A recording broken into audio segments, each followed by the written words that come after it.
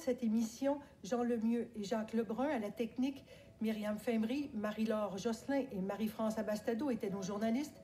Le journaliste web Paul-Éric Dumontier, journaliste à la recherche Christophe Guillon. Des hôtels le dimanche est une réalisation de Robert Lamarche et de Marie-Odile Marcoux-Fortier. L'adjointe à la réalisation cette semaine était Marie-Lou Bonenfant.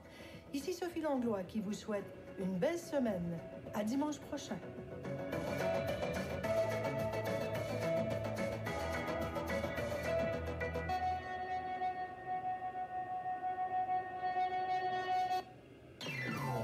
Ici France Baudouin, je vous propose un entretien d'une heure avec la comédienne et chanteuse Bébiline Schweik.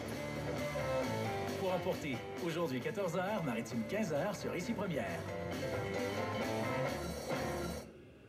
Les populations de phoques ont explosé. Sommes-nous devenus pour la Terre ce que les phoques sont à l'Atlantique Nord? Cette semaine, nous mélangeons phoques et surpopulation. Aujourd'hui 16h, Maritime 17h, ici première. Ici Radio-Canada, première.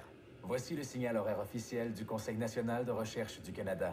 Au début du temps il sera exactement midi, heure avancée de l'Est. Il y a beaucoup d'enfants.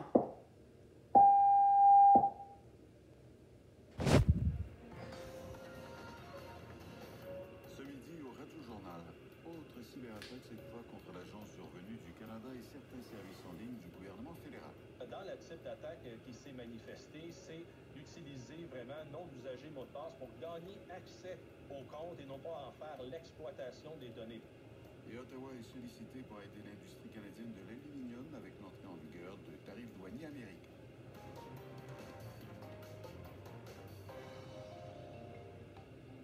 Ici Richard Pratt, bonjour à tous.